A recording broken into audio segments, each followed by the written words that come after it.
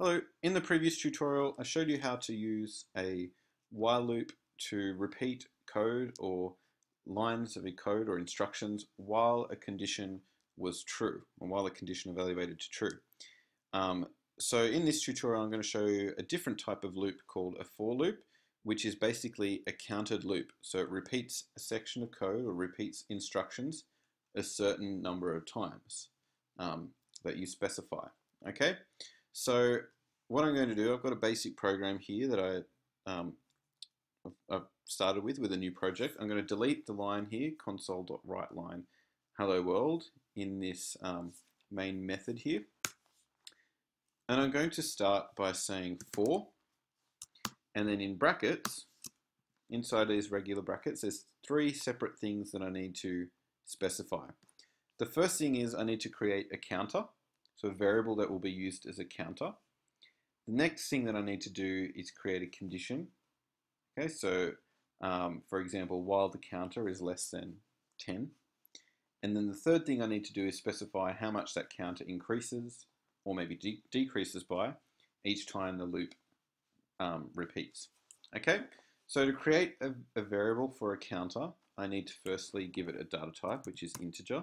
So I'll say for int, and I'm going to call this, um, I'm going to call the variable i, just the letter i.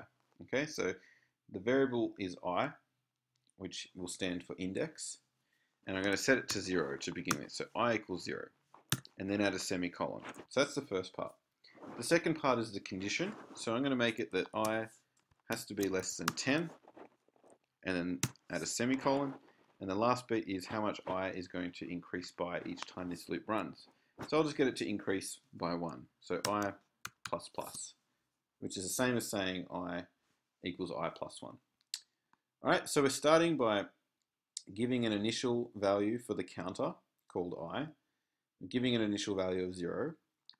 All right, then we're going to check if i is less than 10, and if it is, we'll run the code inside the loop, um, and then once that code has run, we'll increase i by 1, and then check if it's less than 10 again and just keep repeating the code while i is less than 10.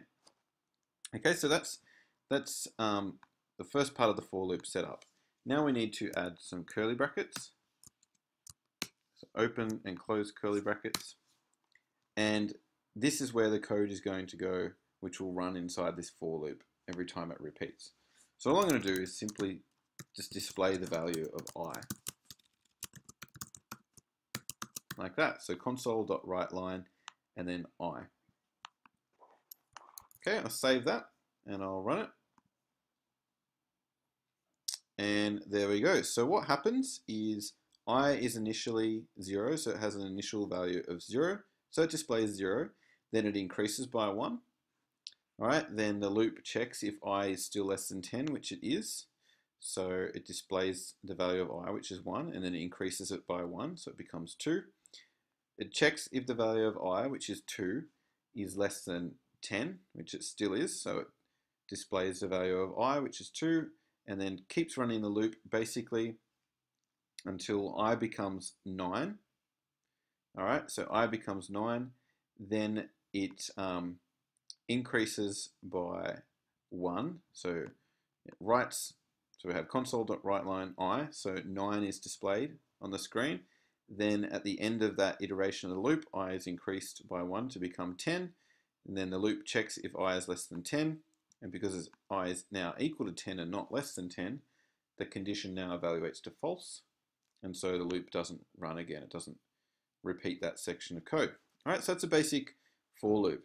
Um, it's just a counted loop that repeats sections of code a certain number of times. Now, what we've done here is specified um, a range so we specified that i is initially 0 and i has to be less than 10 for this loop to run. But there are other very useful ways that we can use for loops. So maybe we have um, a list of items and we want to process that list of items. So maybe we have a list of people's names and we want to convert all of their names from lowercase to uppercase letters as an example.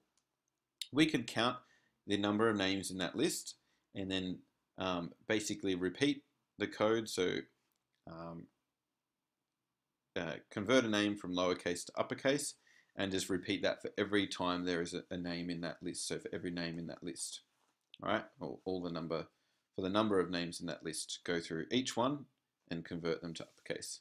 That's an example. So when we start looking at something called arrays later on, for loops will be very useful for that. If we wanted to go through and count through every letter in a word and check each letter in a word, we could also use a for loop to go through each item. Okay, so there are many other uses for for loops that we'll look at later on in this tutorial series, but this is a basic example of using a for loop to count, all right, to repeat code a set number of times. Thanks for watching.